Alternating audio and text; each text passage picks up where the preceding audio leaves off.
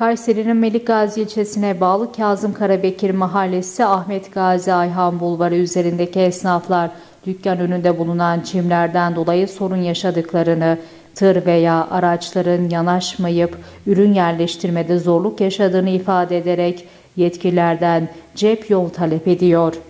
Buradaki sorunumuz ön taraftaki çimlerle alakalı ve park alanıyla alakalı. Ee, Bunları büyüklerimize dile getirmek istiyoruz. Sayın belediye başkanlarımızın burayla ilgili bir çalışma yapmasını bekliyoruz inşallah. Sorunumuz e, park alanımız ve müşterilerimizin bir burası toplan, toptan olduğu için veya tır, kamyon vesaire o tarz şeyler geldiği için toptan olduğu için buraya yanaşmasında sorunumuz var.